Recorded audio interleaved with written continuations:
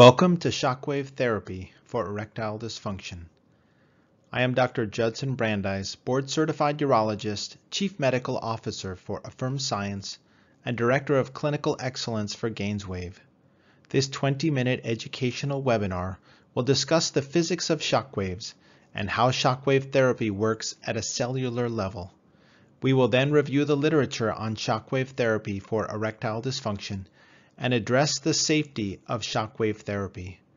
We will then discuss optimal patient selection and supplementation of shockwave therapy, and finally, future directions.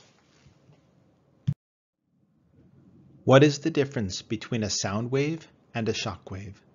Sound waves are forms that push against particles in a medium. The source of the sound is a type of energy that causes a vibration which then propagates away from the vibrating source in a linear, consistent, wave-like fashion. Examples would be sonar from a dolphin, music from a guitar, or diagnostic sound waves from an ultrasound machine. Shock waves are different. They carry more energy, and so the waves rise more acutely and then drop more dramatically. Shock waves travel faster than sound waves. When we talk about shock waves, there are two types, focused and radial. Focused waves aim the energy at a point, like breaking up kidney stones with extracorporeal shockwave lithotripsy. Radial sound waves deliver a wider path with more diffuse energy.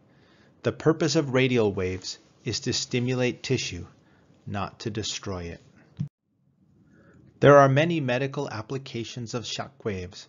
In orthopedics, shockwave therapy is used to treat plantar fasciitis, tendinitis, and other ailments. Shockwave therapy is also being investigated as a treatment for peripheral artery disease and heart issues. In urology, it is used to treat erectile dysfunction. Shockwaves are generated through spark gap technology to stimulate the blood vessels of the corpora cavernosa Gainswave Low Intensity Shockwave Therapy is the brand most closely associated with low intensity shockwave therapy. Shockwave therapy produces a strong pulse of energy which creates cavitation bubbles which expand and then collapse. As these cavitation bubbles collapse, they break down calcific and other deposits. Cavitation bubbles affect tissues and create a shear force which generates increasing cell permeability and stimulates the microcirculation and metabolism. A variety of cells are stimulated to grow, like stem cells, osteoblasts, and fibroblasts. Also, Schwann nerve cells are activated, and vascular endothelial growth factor is released, stimulating the growth of new blood vessels. Tom Lue, a researcher and urologist at UCSF, has done cutting-edge work on the possible biologic cellular mechanism of action of shockwave therapy.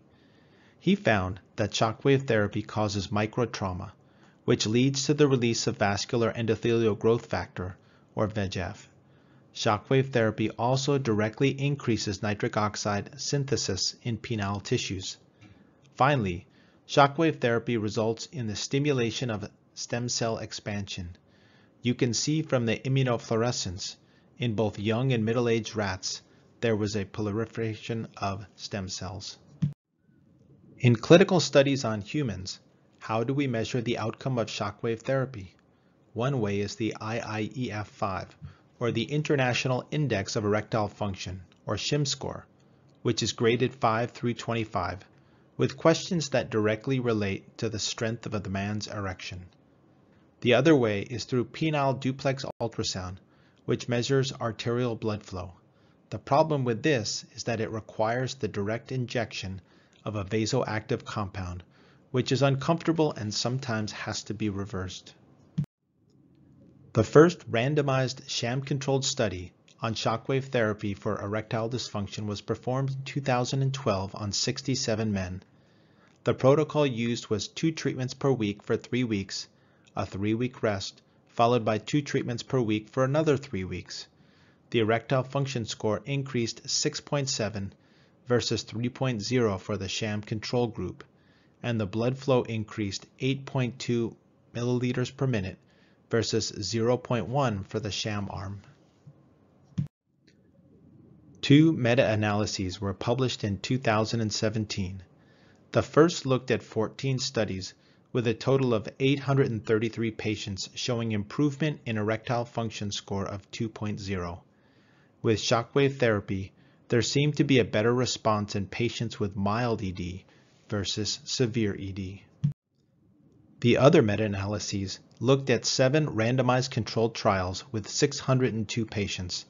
There was an increase in erectile function score of 4.17 over control with high statistical significance. A fascinating paper came out in the Journal of Sexual Medicine in 2018.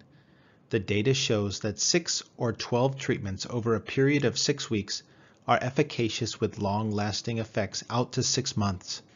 12 sessions yielded more significant improvement in erectile function score and duplex ultrasound with an increase of 5.0.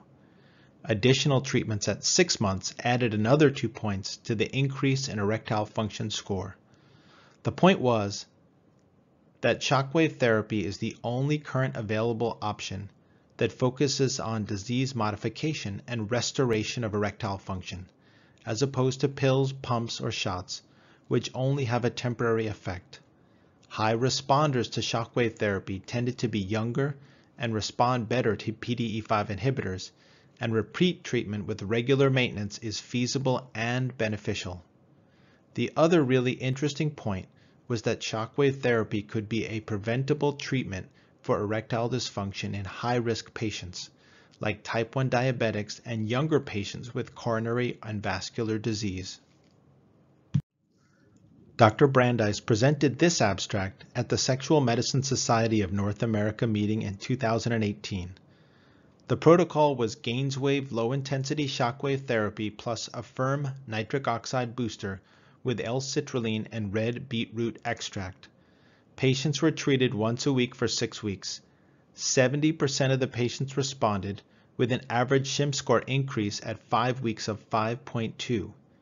This is the first paper in the literature to look at shockwave therapy with a nitric oxide booster and shows more improvement in SHIM score than with most studies looking at shockwave therapy alone.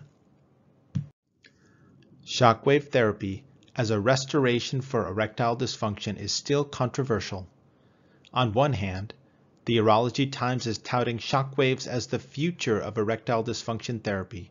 On the other hand, the Sexual Medicine Society of North America and the American Urologic Association position statement says that the use of shockwaves or stem cells or platelet-rich plasma is experimental and should be conducted under research protocols in compliance with institution review boards. So who is right? What the data seems to show about low-intensity shockwave therapy is that it is a non-invasive treatment that semi-permanently improves blood flow to the penis in about three quarters of carefully selected men with mild to moderate ED. It is not uncomfortable and has no significant side effects. Patients with nerve-related issues or severe ED are unlikely to respond. We can resurrect this classic Thunderbird, but not a rusted out old Plymouth. The Gainswave protocol usually starts with six treatments, either once or twice a week, or 12 treatments for patients with very low SHIM scores. We use numbing cream 30 minutes before treatment, and the treatment lasts for about 15 to 20 minutes. Patients can resume normal activity afterwards, and they are encouraged to have erections. Most patients do not start responding until the fifth week after the start of treatment. It is important for patients not to take any nonsteroidal anti-inflammatories during treatment and that patients undergo long-term maintenance in order to continue to have good results. Shockwave therapy treats the corpora distally and proximally and results in the growth of new blood vessels. Dr. Brandeis came up with the concept of triple therapy, which is a nitric oxide booster, a PDE5 inhibitor, and shockwave therapy. Patients tend to respond earlier to treatment and have a longer lasting response. Besides, nitric oxide boosters have general health benefits, like naturally lowering blood pressure improving cognition and athletic performance, and reducing the risk of heart disease. As men age, their endogenous production of nitric oxide declines significantly. Think of a salt shaker with only 20% of the original amount of salt. A nitric oxide booster like Affirm will fill the salt shaker back up. Stimulated nerves release a neurotransmitter called nitric oxide which crosses the synapse and stimulates a blood vessel. The other way to increase the amount of nitric oxide that crosses the synapse is to stimulate the blood vessel, is to block the enzyme PDE5 with a PDE5 inhibitor like Viagra or Cialis. By blocking the PDE5 inhibitor, more nitric oxide crosses the synapse to stimulate the blood vessels. The third part of triple therapy is encouraging the growth of blood vessels with low intensity radial sound wave therapy. Other supplemental treatments complementing shockwave therapy are vacuum erection devices, platelet-rich plasma, stem cells, nitric oxide boosting supplements like Affirm, and PDE5 inhibitors like Viagra and Cialis. What we have learned is that shockwave therapy is potentially a curative treatment for low blood flow to the penis causing erectile dysfunction. Shockwave therapy is an FDA-approved technology in orthopedics and investigational for erectile dysfunction treatment. However, there is a significant body of literature on the efficacy of treatment of erectile dysfunction. Furthermore, shockwave therapy is safe, with minimal discomfort and does not interfere with physical or sexual activity. It is effective in more than 75% of men with mild to moderate ED, but does require long-term maintenance as you would expect given the aging process. Thank you for your attention. This webinar was sponsored by Affirm Science, developers of Affirm Nitric Oxide Booster the official nitric oxide boosting supplement of Gainswave. Affirm Science donates a portion of profits to research and education on erectile dysfunction. If you are over 45 and like the webinar, please consider purchasing Affirm at affirmscience.com to support additional educational and research activities. Affirm has been shown to increase the effectiveness of Gainswave therapy with no side effects to the patient.